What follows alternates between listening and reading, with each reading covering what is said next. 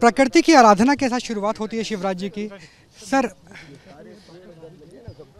शुरुआत की है अपने दिन की उसके बाद लोकतंत्र के महापर्व की तैयारी। किस तरीके से देखते हैं? क्योंकि उनतीस में से उनतीस की डगर। डगर नहीं जीत ही रहे। सर पिछली बार अगर चौदह की बात करें सत्ताईस थी। उन्नीस में अट्ठाईस हो गई। अब पूरी उनतीस सीटें भारी अंतर से बीजेपी जीत रहे। हैं और विदिशा की बात करें विदिशा भी जीतेंगे।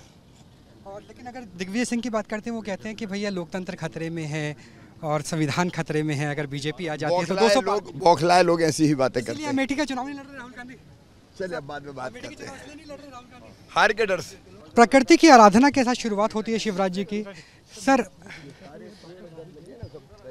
शुरुआत की है अपने दिन की उसके बाद लोकतंत्र के महापर्व की तैयारी। किस तरीके से देखते हैं? क्योंकि उनतीस में से उनतीस की डगर। डगर नहीं जीत ही रहे। सर पिछली बार अगर चौदह की बात करें सत्ताईस थी। उन्नीस में अट्ठाईस हो गई। अब पूरी उनतीस सीटें भारी अंतर से बीजेपी जीत रहे हैं। और विदिशा की बात करें विदिशा भी जीतेंगे। और लेकिन अगर दिग्विजय सिंह की बात करते हैं वो कहते हैं कि भैया लोकतंत्र खतरे में है और संविधान खतरे में है। अगर बीजेपी आ जाती है तो 200 लोग बौखलाए लोग ऐसी ही बातें करते हैं। अमेठी का चुनाव नहीं लड़ रहे राहुल गांधी। चलिए अब बाद में बात करते हैं। हार के डर से। प्रकृति की आराधना के साथ शुरुआत होती है शिवराज जी की। सर शुरुआत की है अपने दिन की उसके बाद लोकतंत्र के महापर्व की तैयारी। किस तरीके से देखते हैं? क्योंकि उनतीस में से उनतीस की डगर डगर नहीं जीत ही रहे। सर पिछली बार अगर चौदह की बात करें सत्ताईस थी। उन्नीस में अट्ठाईस हो गई। अब उनतीस पूरी उनतीस सीटें भारी अंतर से बीजेपी जीत रहे। हैं और विदिशा की बात करें? विदिशा भी जीतेंगे।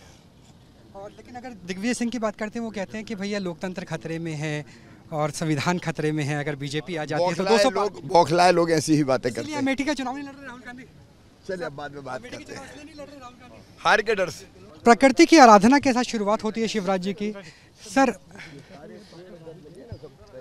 बात की है अपने दिन की उसके बाद लोकतंत्र के महापर्व की तैयारी। किस तरीके से देखते हैं? क्योंकि उनतीस में से उनतीस की डगर। डगर नहीं जीत ही रहे। सर पिछली बार अगर चौदह की बात करें सत्ताईस थी। उन्नीस में अट्ठाईस हो गई अब उनतीस। पूरी उनतीस सीटें भारी अंतर से बीजेपी जीत रहे हैं। और विदिशा की बात करें? विदिशा भी जीतेंगे। और लेकिन अगर दिग्विजय सिंह की बात करते हैं वो कहते हैं कि भैया लोकतंत्र खतरे में है और संविधान खतरे में है अगर बीजेपी आ जाती है तो दो 200 लोग बौखलाए लोग ऐसी ही बातें करते हैं। अमेठी का चुनाव नहीं लड़ रहे राहुल गांधी। चलिए अब बाद में बात करते हैं। हार के डर से। हार के डर से अमेठी का चुनाव नहीं लड़ रहे हैं राहुल गांधी, ये साफ़ तौर पर ये कहा जा रहा है और ये भी कहा है कि उनतीस की उनतीस सीटें विजयश्री के साथ कमल खिलाएँगी। कैमरा सहयोगी जयराम के साथ राहुल डबास न्यूज़ नेशन, भोपाल।